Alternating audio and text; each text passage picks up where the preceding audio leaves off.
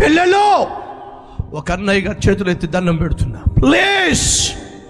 మీ శరీరాన్ని వివాహం కొరకు దాచిపెట్టుకోండి. అంతేగాని ప్రేమ అనే ముసుగులో ఒక ఊర కుక్కకి మీ శరీరాన్ని దానం చేసి ఆ తర్వాత తీరనటువంటి రోగాన్ని కొని తెచ్చుకోకండి. కొని తెచ్చుకోకండి. కొని తెచ్చుకోకండి. కొని తెచ్చుకో తమ్ముళ్ళో!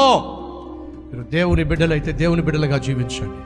మీ శరీరము దేవుడిచ్చిన బహుమానము. అది దేవుని ఆలయము.